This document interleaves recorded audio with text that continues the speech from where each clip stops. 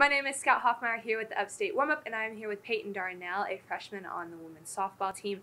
Peyton, you recorded a 364 batting average against Charleston Southern this weekend, along with a home run that ultimately awarded you with Big South Freshman of the Week honors. Can you share a little bit about what this honor means to you?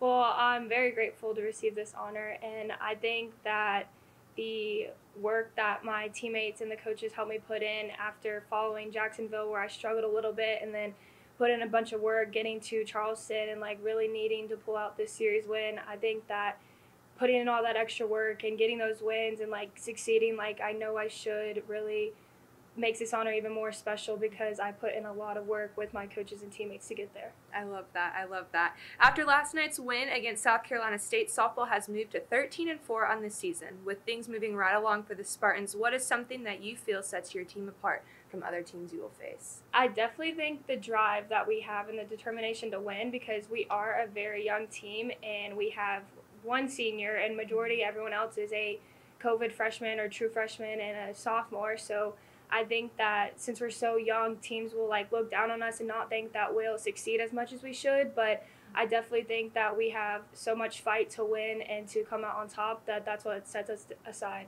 Absolutely. You had an interesting start to your freshman season last spring as it was sadly cut short due to the COVID 19 pandemic. How did you remain motivated and consistent heading into what is now your true freshman season? Well, I think definitely the what really like set it apart was now going into conference, this being my first conference game ever in college, that was like really exciting and like exhilarating that finally getting into that and like finally feeling like what all this work it goes into and like what's it about because we definitely want to win and we definitely want to come out top come out on top in conference.